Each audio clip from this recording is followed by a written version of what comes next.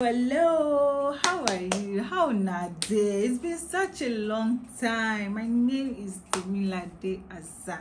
Like, you tell how excited I am to be back on YouTube. Like, this is the first time I'm filming in year 2024. The last time I filmed was in December 2024, uh, 2023 rather, and I haven't filmed since then. So I'm super, super excited i'm happy whatever whatever adjective or you want to call it i i feel very very happy and i'm grateful to be here. A lot of things have happened so now that i'm back i'm going to try to be more consistent guys. And i need you guys to like motivate me.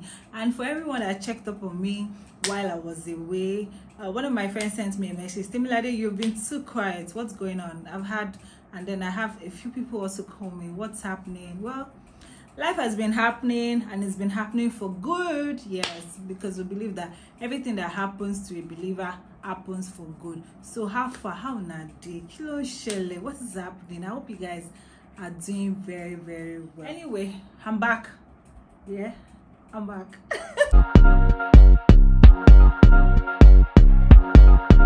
welcome back to my youtube channel. My name is Temilade Hassan guys so today we'll be talking about a, a very very interesting topic because this is something that we'd all experience at one point in time or another. As human being you would experience it and it is called burnout yeah burnout so we'll be talking about burnout and how to start over and get your life back on track. So, burnout is something that you would experience, like I mentioned earlier.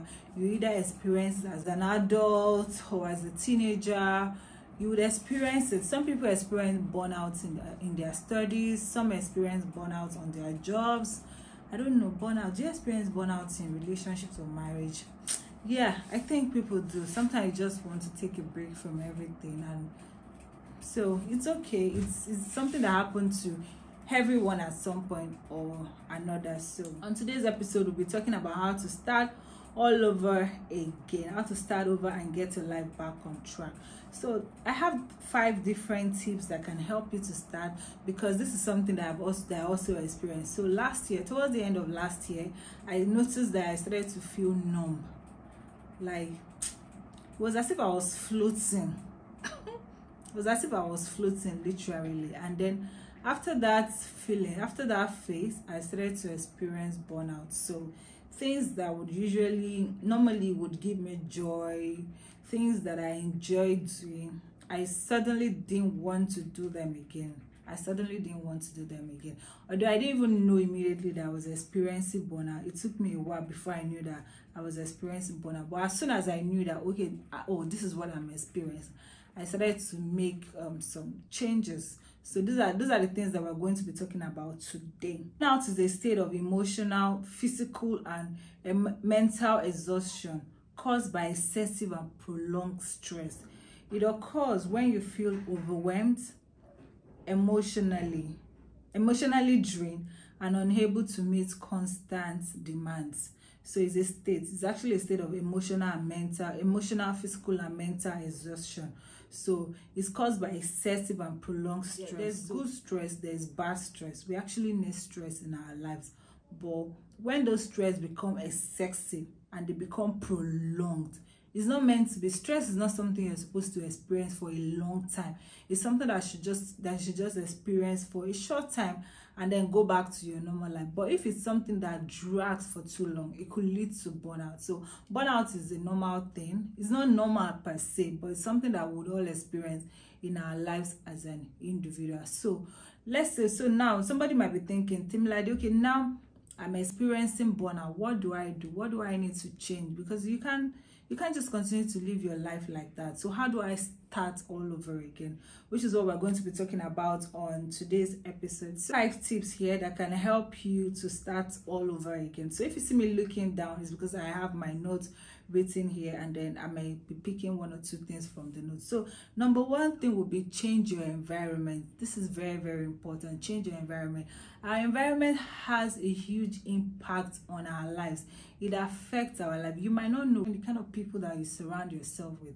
It definitely affects you. So if you're constantly around negative people my darling and you are the only positive person. It's just a matter of time. You become negative like them so change your environment. Changing of environment might not just mean changing your association alone. It could even mean changing your physical environment. So let's say for example now okay you're at this job. You notice that you're feeling exhausted. You're constantly exhausted. You do you're not motivated. You don't want to you don't even feel like coming to work every day. So have you this have, have you thought of taking some days off work? Yeah you might want to consider that. Why don't you just step away from that environment? And you don't have to even travel out. For those people that can afford to travel out oh why not take advantage of that. You can go for vacation. But if you can't travel out of the country because we all know what the economy is saying if you can't travel out of the of the country you might want to consider staycation. Staycation is when you travel when you just go away for a few days in your area. So there are several hotels around here. You can even do an airbnb. Just go with if you want to go alone fine but if you want to also go with a few friends you can just go just change your environment. You feel that you see that you come back feeling a lot better than how you felt before you went for that. So that's very very important. You might want to change your environment which was something i did um, i think first quarter of this year. Yeah first quarter of this year i took some days off work and i just went to relax to unwind and i came back looking super refreshed super energized and another. So it's very very important. Then number two will be simplify your daily routine. Some of us have one mil 100 to-do list. How now? How? You cannot finish it. Because even the, the the whole thought of that to-do list would even overwhelm you. So why don't you just simplify it? If it's only three things you can achieve today write it down. Simplify it. Your daily routine too you cannot continue to do 10 step makeup every day. No it's not sustainable. It's not. Why do you need to do foundation baking and everything to work? You'll be exhausted spending two hours to make up before you go to work. Is it's too much time. So might need to simplify some of those things that you do every day. And if you need to delegate why not delegate? Some things that you need to outsource is something you should also consider too. So Ensure that you simplify your daily routine. This will help with feeling constantly tired, constantly unmotivated, or constant um, exhaustion. So simplify your daily routine. This will help. It will go a long way. Then number three will be unplug from social media. See, I don't know how social media had become unsafe space, so to say. Like I remember back then when I just started Inst when I just started um, using Instagram. Like Instagram was about pictures, about people's good moments and everything. But now people put all kind of things on on on on Instagram. Like before, there's no how you be on Instagram that you won't see one start story, and in a way to just trigger something in you.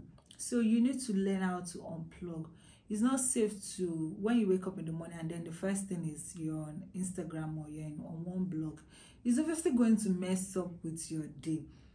And if you continue consuming those kind of content unhealthy content at the end of the day it's going to affect you. If you need to put a timer on your phone on how long you want to be able to access um, social media or or your screen time you need to we all need to be we need that discipline. It's not only our children it's not only kids that need that screen time screen time limit. Even as adults we need it. It will help exercise and eat better. So this is very very important to like exercise. So study shows that when you work out when you do some form of exercise it releases an a certain kind of hormone called dopamine. So dopamine is a feel good hormone. So have you noticed that every time you work out you just start to feel good about yourself? You feel very energized. You feel you feel good about yourself. So i think it's something that you want to indulge in because the better you feel about yourself the more interested you'll be in doing other things that makes you happy. It will also help with um,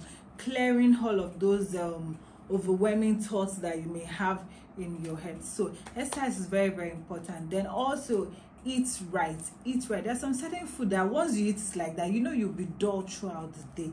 And if you continue to experience that kind of dullness it's going to affect you on the long run. So i'm not a dietitian neither am i a nutritionist but some things that some of the tips that i've done that have helped me and now i'm happy that i'm in a better state of mind.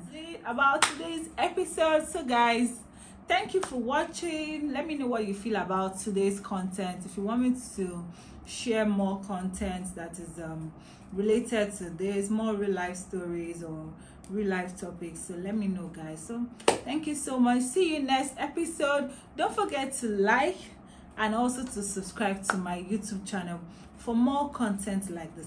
And please feel free to share with your girlfriend. Have a beautiful day. Bye